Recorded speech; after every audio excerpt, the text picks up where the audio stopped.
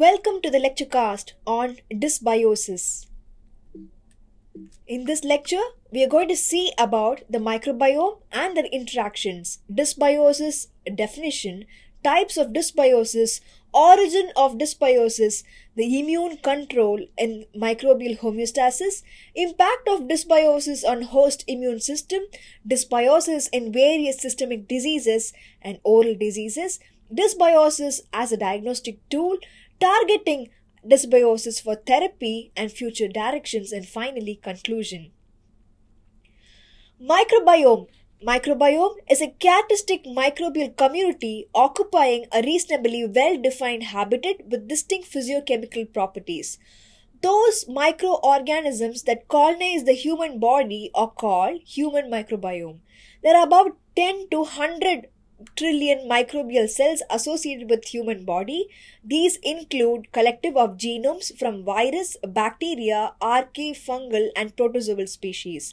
The composition of these microorganisms are different from person to person and they are site specific. These occupy the skin, mucous membrane and intestinal tract of human body which are harbored in various nicks.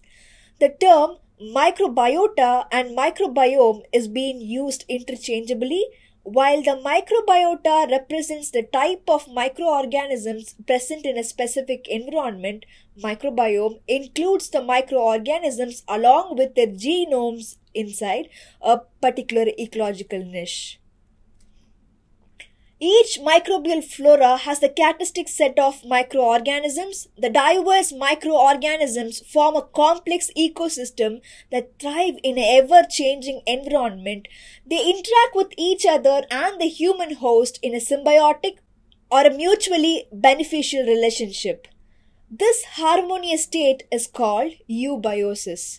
The healthy microbial community is characterized by diversity, that is, more than 1000 different species coexist in the microbial flora, the stability to withstand the forces against the removal, resistance against the pathological microorganisms colonization, and the resilience when they are subjected to perturbations or change, they strive to gain back the equilibrium or the normal composition.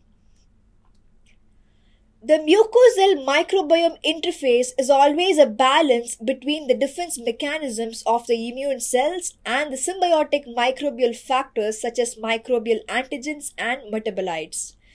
The study of metabolomics aims to identify and quantify all the small molecules and microbe produced metabolites, which tells us the dynamic nature of the metabolic functions of a particular microbial community and helps us understand how it influences the human host. The microbial composition at a particular flora is being determined by the interspecies interaction and the host microbial interaction, which impacts the health and the disease status of the host. The diverse microorganisms they co-aggregate into structured communities which are embedded or enclosed into a polymeric extracellular matrix forming a biofilm. The molecules present in the biofilm they inherit the group behavior called the quorum sensing. There are three different types of interaction happening in between the microorganisms of different species, genera, and family. They include the positive interactions, negative interactions, and neutral interactions. The positive interactions are mutualism, synergism, and commensalism.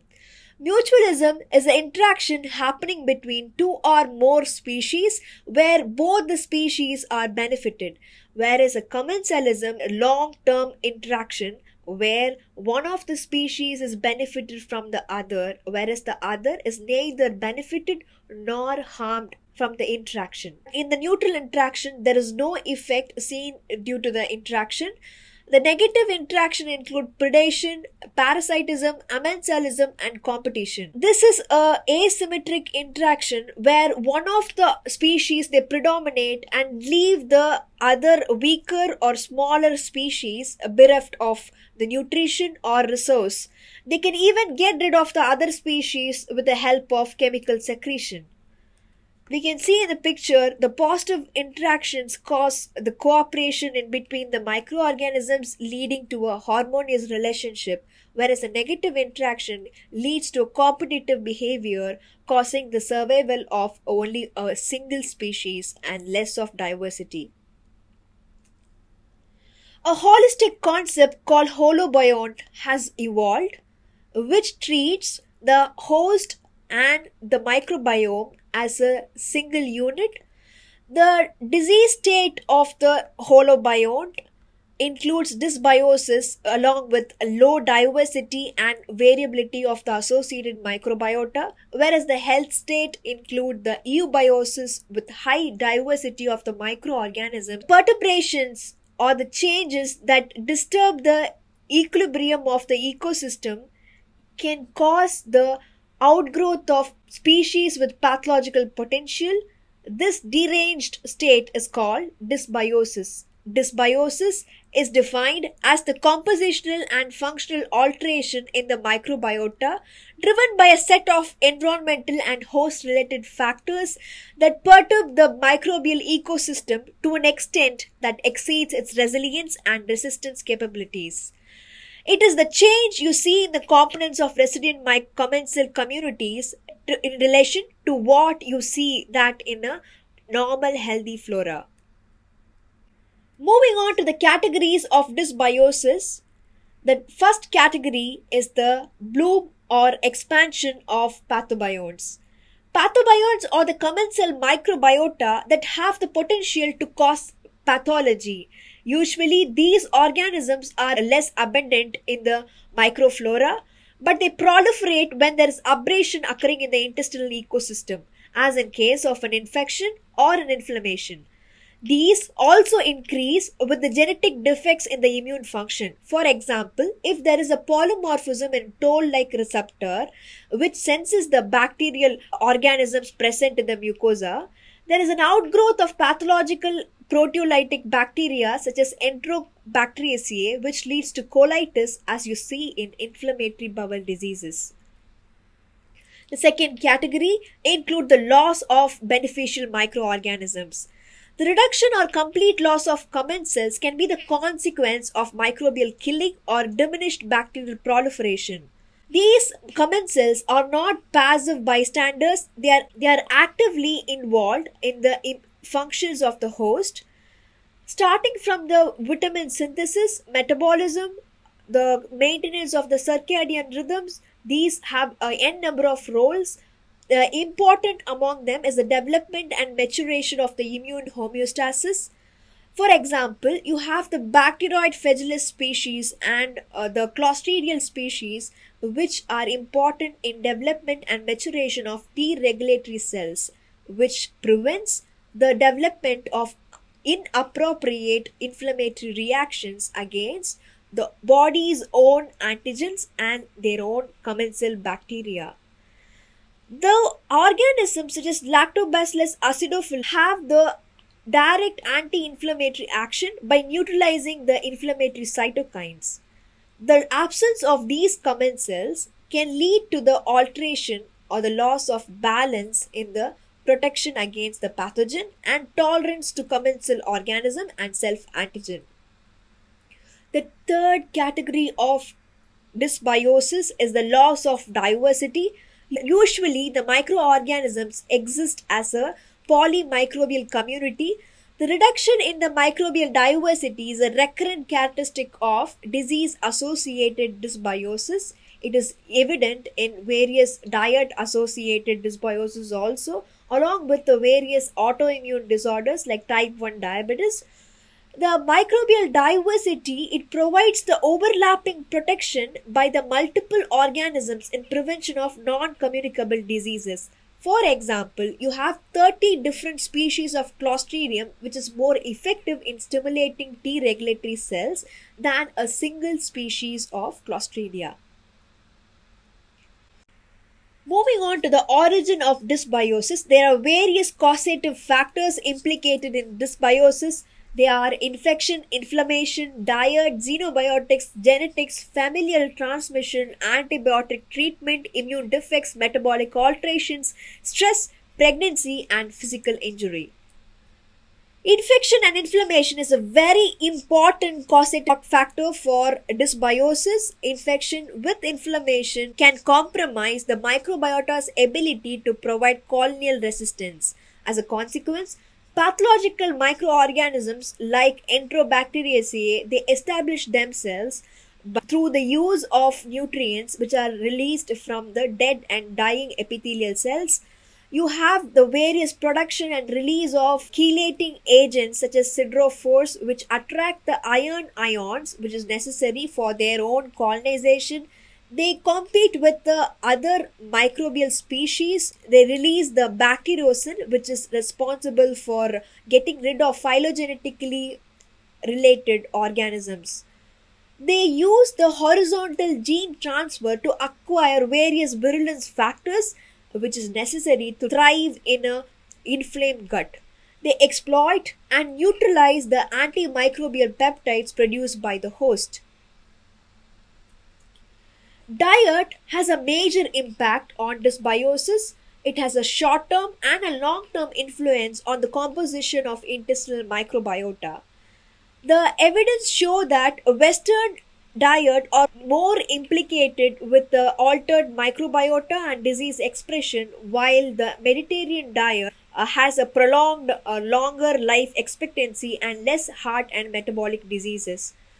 The microbiota, when they act on dietary fibers and the protein, they release certain metabolic uh, waste such as the short chain fatty acids. These, along with the secondary bile acids and the structural components, they trigger the various hormones which help in the metabolism of glucose, insulin sensitivity, fat storage, feeding, and satiety feeling. When there is a derangement of these metabolism the, and the altered dietary functions, you have the deranged or a different dysbiotic microbial community occupying the flora. Low fiber and high fat diet progressively reduce the microbial diversity the diet high in saturated fat produce more of taurocholic acid which preferentially help in the growth of organisms such as uh, Bilophila wordsworthia which is a pathobiont that favors Th1 type of inflammatory reaction leading to colitis and colorectal cancer. Dietary emulsifiers and dietary sweeteners also induce dysbiosis. Broad spectrum antibiotics causes a change in the composition and function of the intestinal microbiota. They cause depletion of short chain fatty acids, which also induce the long lasting effect on the host. The early colonization of the human microbiome happens as soon, as, the, as soon as a child is being born. The neonatal microbiome is determined by the maternal microbiota the mode of delivery and the feed the child is taking also influence the microbiota. The evidence show that those babies who are born through the vaginal delivery, they have good bolus of microbiota, whereas it has been uh, inhibited or the disturbed by the cesarean section. Where those babies who are born of vaginal delivery have a good bolus of microbiota, which has been interrupted by the cesarean section. Those babies fed with the breast milk have far high diversity of the microbial flora compared to those who are formula fed. The environmental transmission has an additional importance as household feature characteristic microbial signatures. Both familial and the environmental microbiome transmission can be of phenotypic importance in some disorders the, the transmissible component is being introduced into a, a non communicable disease through the environmental microbiome transmission. Genetics The microorganisms that colonize the host body is inherited. The host genetics are involved in shaping the composition of the intestinal microbiota. The genome wide association studies have linked many loci with the microbial taxa and the functional pathways, the loci related to the human vitamin D receptor and various other immune and metabolic functions are highlighted as the potential drivers of microbial control through host genetics. The genetic influence on the microbial composition may be involved in the manifestation of certain phenotypes. Have you all wondered why certain people take a less of a food but they are obese? While certain other people who take a lot of food but they don't put on weight, the type of microbiota they have inherited could be a cause. For example, those inherited with Cristanellaceae family, they are associated with low body mass index. The immune control of microbial homeostasis, the host shapes the configuration of normal and dysbiotic microbiome by means of immune system. In turn, the gut microbial composition affects the local and systemic immunity Genetic defects in the recognition and response pathways to identify the various microbes can alter the microbial colonization or misrecognize the normal microbiota, leading to disease. The defect in pattern recognition receptors can lead to increased mucosal associated bacteria, leading to colorectal cancer and prolonged inflammatory conditions. Mutations in the gene involved in immune regulatory mechanisms or pro inflammatory pathways cause unrestrained inflammation. The cytokine polymorphisms select and favor the growth of specific component in the biofilm. The Paneth cells express antimicrobial peptides alpha defensin, which is an essential regulator of intestinal ecology. When there is a reduction in interleukin 22, these antimicrobial peptides are produced less, leading to expansion of segmented filamentous bacterial population and systemic colonization with pathogenic commensals. The commensal on their own they help they produce uh, metabolites which stimulate the NLRP6 associated inflammasome which secrete the mucus and other antimicrobial peptides which regulate in the microbial composition. When these commensals are being destroyed or disturbed, you have the altered uh, immune response in the in the mucosa. The various adaptive immune responses which helps in the regulation of microbial composition are secretory IgA which are seen floating in the mucosal surface. These are specific to the bacteria and their functions such as flagella production.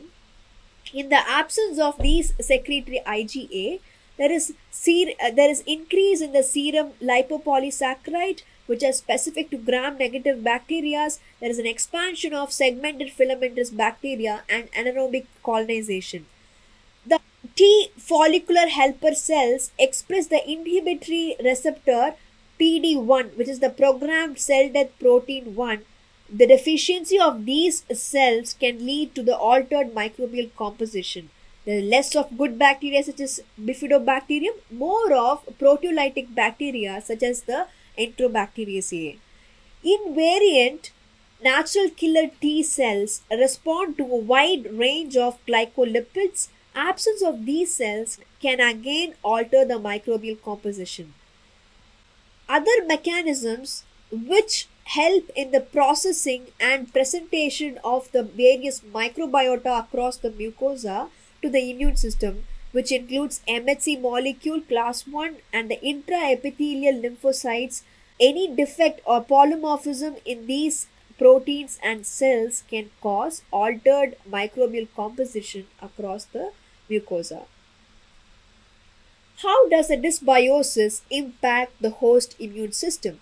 The dysbiotic microbial community, once established, substantially affect both the local mucosal and systemic landscape of immune cells, which is important for their own survival and also the maintenance of the dysbiotic state. The microbiota uses various signals and mechanisms to affect the immune activation, including the epigenetic remodeling and altered gene expression. The microbiota can influence the host innate immune system via two types of signals their own microbial cell components and the metabolites, which inhibit the antimicrobial response and they maintain the inflammatory state through their crosstalk. Example, the P. gingivalis, they promote the degradation of MYD88 protein, which is an adapter protein associated with toll-like receptor. When these proteins are being degraded, there is no there is absence of bacterial sensing which can lead to the colonization of pathological microorganisms. The Suturella species they degrade IgA and associated stabilizing peptide. When there is absence of these uh, antibodies on the surface that can neutralize various pathological microorganisms, the, definitely the dysbiotic state is being prolonged. The interaction between toll-like receptor 2 and the complement receptor C5AR can lead to altered phagocytic and microbial killing. The aberrant interactions of the microorganisms with the host immune system in a genetically predisposed individual can lead to a plethora of the immune mediated diseases and cancer the causal contribution is being demonstrated by the prospective cohorts interventional trials almost 109 trials have been registered and the various preclinical studies in the experimental animals and the human models example P. gingivalis have been causally associated with rheumatoid arthritis, the Epstein-Barr virus associated with systemic lupus erythematosus and systemic sclerosis. Moving on to the dysbiosis in various systemic diseases, first we will see it in inflammatory bowel disease. Inflammatory uh, bowel disease has chronic relapsing inflammation of intestinal mucosa and extra-intestinal organs. This biosis in IBD involves a decrease in the frequency of butyrate producing bacteria with increase in the sulfate reducing bacteria. The butyrate is an important energy source for the epithelial cells to, to protect the epithelial barrier against the uh, entry of the pathogen. So, when, when the butyrate is being produced less, epithelial permeability is more, which can lead to the increased translocation of bacteria with pathological potential. There is the sulfate reducing bacteria which converts the sulfate into hydrogen sulfide, which is a toxic molecule which reduces the phagocytosis and killing of pathological organisms. In IBD, you have decreased firmicutes and bacteroids ratio, which is involved in the in the conjugation of bile acids. This destroys the bile acid mediated reduction in the intestinal inflammation leading to an increase in colitis. Celiac disease. This is the autoimmune disease triggered by the ingestion of dietary gluten. There is a permanent intolerance to dietary gluten such as gliadin peptide and prolamins in genetically predisposed individuals. The proportion of gluten proteolytic bacteria is decreased in these individuals, there is abundance of gram-negative proteobacteria. These undigested gluten, they are being transported through the lumen inside the lamina propria with the help of a protein called transglutaminase 2. Dendritic cells in the lamina propria, they sense these gluten, they activate or stimulate the adaptive immune response in the mucosa, uh, inducing the Th1 and Th17 mediated production of pro-inflammatory cytokines. Uh, the, the levels of short chain fatty acids it also is reduced in these individuals because of which there is uh, the T regulatory cells are disturbed.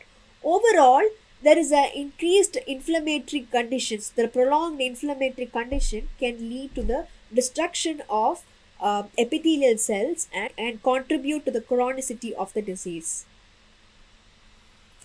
Obesity is a metabolic disorder that is on rise worldwide. These individuals they have less of the butyrate producing bacteria which is important in the breakdown and fermentation of dietary polysaccharides there is decreased absorption of monosaccharides in these individuals and uh, consequently when there is a fermentation is disturbed there is less of production of metabolic product which is the short chain fatty acids uh, these when these short chain fatty acids are reduced these actually they act through the fatty acid receptor and stimulate certain hormones. They stimulate the satiety feeling in the brain. Uh, when these are at loss, you have decreased satiety. The short chain fatty acids also lead to the increased oxidation of fatty acids in the adipose tissue. Thus, they won't let the fat, the fat get accumulated in the adipose tissue. The obese microbiota can cause increased bacterial antigen translocation, uh, leading to chronic inflammation and impo- impaired metabolic functions such as the insulin resistance. The diabetes is a uh, a very common rising chronic disorder. There are two types of diabetes. You can type 1, which is an autoimmune disorder where you have a less of uh, insulin production. Type 2, type 2 is caused by more of uh, the insulin resistance. The dysbiosis is seen in both of these types. Uh, you have decreased mucin degrading bacteria such as bifidobacterium, lactobacillus, and prevotella and you have rise on pathobionts like such as bacteroids, uh, clostridia, fusobacterium, blottia, rhinococcus, everything.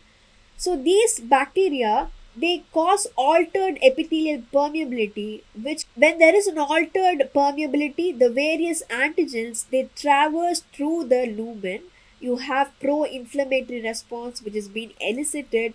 As a result you have you have the development of auto antibodies generated against the beta cells of pancreas um, with insulitis. Dysbiosis in asthma those, those children in germ free conditions and those who are exposed to antibiotics in the early life are associated with increased susceptibility to allergy and asthma the microbiota, through the B cell intrinsic um, MYD88 signaling, limits the conversion of serum antibodies to IgE type and they also lessen the ba- basophil abundance. When there is an absence of these microbiota, the there is a preferential switch over to the IgE class which supports the allergic inflammation. Those experimental models where the mice has been treated with vancomycin which is an antibiotic there is a less of t regulatory cells which is being developed so these antibiotics basically they kill the uh, microorganisms which lead which helps in the development and maintenance of t regulatory cells dysbiosis in autism the gut microbiota and its metabolites affect the CNS functioning via the gut brain axis. These microorganisms they produce the neurotoxins which which interfere the synthesis of neurotoxins by these microbiota can cross gut brain barrier and interfere with the normal neurodevelopment in these children thus affecting the behavior and the brain chemistry in these kids the replenishment of diminished commensal bacteria has been proved effective. For example, in the experimental autistic models, replenishment of Lactobacillus reuteri and Bacteroides fragilis have reduced the disease severity. Oncobiosis, dysbiosis in cancer. The microbial dysbiosis associated with neoplastic disease are termed oncobiosis. The oncobiome is the various microorganisms that are characterized in various cancer. The oncobiome are the microorganisms that are characterized in various cancers. The oncobiome oncobiomes from long and short term survivors are different. In the various experimental animal tumor models, the transfer of oncobiome from the long term survivor has induced prolonged survival in the organism the oncobiosis drives carcinogenesis, metastasis, and the poor survival, which has been well characterized in cancers such as pancreatic, ovarian, breast, and the oral cancers too. The bacterial metabolites and the functional metabolisms have role in microbiome driven pathogenesis of the cancers. Dysbiosis in oral cavity, you have various common oral lesions which are associated with dysbiosis. The dental caries is a polymicrobial disease which is very very common. This is characterized with the infection of specific bacteria present in the dental plaque such as the Streptococcus mutans and Lactobacillus. In a susceptible host who take a lot of carbohydrates, the streptococcus mutans they use these carbohydrates and ferment them into acids preferentially lactic acid which causes the demineralization of the teeth the mineral loss initially causes the enamel porosity and the softening of the subsurface. So this increases the diffusion of the acids. Finally the microorganisms invade the dentine and the pulp. And this can even further lead to the bacteremia. The picture you can see the eubiotic or oral biofilm where there is a polymicrobial community then they are subjected to acidic microenvironment created by uh, high sugar uh, fermentation. The cofactors such as reduced salivary flow can also contribute to the environment. There is the development of dysbiotic oral film, which is rich in organisms such as Streptococcus mutans, Lactobacillus, Acidophilus, and the Actinomyces viscosus. So, these dysbiotic oral film can lead to the progression of the dental caries, finally affecting the pulp and creating the bacteremia. Another lesion commonly encountered in the dental uh, setup is the periodontal disease which is resulting which results in the imbalance in the microflora which is promoted by ecological stress which is enriched with the periopathogens. Under normal conditions the levels of periopathogens they are not able to outcompete the predominant eubiotic saccharolytic bacteria. When there is external factors such as plaque calculus which change the bacterial load in, induces the host inflammatory response when there is a lot of flow of a, a gingival crevicular fluid which is an exudate subgingival nutritional status is being changed which causes the proteolytic gram negative bacteria to proliferate more since these feed in the anaerobic environment these feed in the more of proteins uh, which is released in the inflammatory environment. Uh, these have the preferential growth which include the Prevotella intermedia, Fusobacterium nucleatum, Porphyromonas gingivalis, Tannerella forsythia and Treponema denticola. These organisms are pathogenic and they can destroy the periodontal ligament causing the host tissue degradation. The keystone pathogen theory focuses on a single pathogen which is important in creating the whole of the dysbiosis. Uh, the P. gingivalis has been, has been portrayed as the keystone pathogen which has developed strategies to subvert and impair the host immune response along with changing the entire uh, oral biome into a dysbiosis. Dysbiosis in oral cancer is well associated recently. You have species such as Prevotella, Fusobacterium, and Porphyromonas. These can trigger a pro-inflammatory microenvironment wherein the inflammatory cytokines and the matrix metalloproteinases are being induced to be produced, which favors the development and progression of the tumor. You have various oncogenic metabolites which is being produced by species such as Bifidobacterium, Lactobacillus, and Streptococcus. The reactive oxygen species and or a reactive nitrogen species which is being produced along with nitrosamines can induce the genetic defects causing mutations responsible for induction and progression of cancer. The various other mechanisms include alteration of the epithelial barrier by these organisms which can cause the occurrence of precancerous lesions. Not only that, they induce various oncoepigenetic alterations such as the uh, increase in the oncomicroRNA, DNA methylation, and, and protein phosphorylation.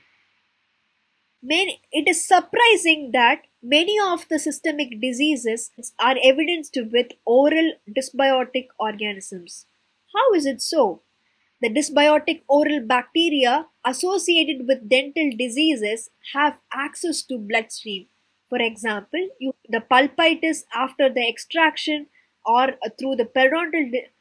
the dysbiotic oral bacteria is being the dysbiotic oral bacteria associated with various dental diseases such as pulpitis or the periodontitis, they gain access to the bloodstream causing bacteremia. The bacteria in the circulatory system lead to the colonization of other host tissue, thus they associate with various systemic diseases. The common examples are atherosclerosis, Alzheimer's disease, type 2 diabetes, and the, the pregnancy complications. The patients with periodontitis have 25% of higher risk of atherosclerotic plaque formation. The uh, five different types of oral pathogens are unique to atherosclerotic plaque. These organisms they gain the entry to the plaque with the help of bacteremia. They invade the arterial wall and they promote plaque formation there. They release various specific bacterial toxins with pro-atherogenic effects. Apart from atherosclerosis, you have the Treponema species which is more commonly associated in Alzheimer's disease and you have the various periodontal pathogens commonly seen in diabetic people and you, ha- you have various uh, periodontal pathogens which are associated with diabetes. How are dysbiosis being used in diagnosis? Information regarding the state and function of the microbiota utilized for diagnosis and therapy of various human immune mediated diseases. The analytical tools include DNA sequencing, which identifies the strains and genomes. There is RNA sequencing, which determines the type of microbial gene activity. The metabolome, metatranscriptome and metagenome analysis helps in the finding the microbial community function. These tools are being already tried as a potential tool in Parkinson's disease, Alzheimer's. Next, we will move on to therapies that use dysbiosis as the target. You have various antimicrobial peptides, metallic nanoparticles, prebiotics, probiotics, symbiotics, and host response modulators. The antibiotic usage eliminates both the pathogenic as well as the commensal bacteria. Thus, studies had more focused on antimicrobial peptides, which has a broad spectrum antimicrobial activity that could modulate the dysbiosis. Ba- bacteriocin like nisin are found to be active against both gram positive and gram negative bacteria. These antimicrobial peptides, they work by inserting themselves to the surface layer of the bacteria. They cause pore and release of intracellular components, finally causing the lysis of the bacteria. The various metallic nanoparticles are being incorporated into poly polymeric matrix as a filler particle to control the biofilm growth these metallic nanoparticles they insert they get inside the cell membrane. They cause the damage by inhibition of electron transport chain. Once they gain access to the cell they form reactive oxygen species which cause the oxidative stress uh, leading to dna damage and death. These can also destabilize ribosomes and mitochondrial functions leading to death the fecal microbiota transplantation has been used in the treatment of various chronic disorders where the entire intestinal community of the patient is being replaced by a microbiota of a healthy donor. Intense effort have been made to engineer or reconstitute the microbiota to prevent or treat diseases the probiotics, which are nothing but the healthy microorganisms such as the lactobacilli and bifidobacterium, species which are being administered to cause expansion of the healthy microbiota. They act through various mechanisms. They compete for the resources and nutrition and also they block the various adhesion sites of the pathological microorganism. They directly they cause the stimulation of immune system against the bacteria and against the pathogens they cause the stimulation of the immune system against the pathogens or they directly produce the antimicrobial agents such as bacteriocin to get rid of the pathogens. The prebiotics are the dietary, natural or synthetic food which aims to modify the composition of intestinal ecosystem through nutritional changes.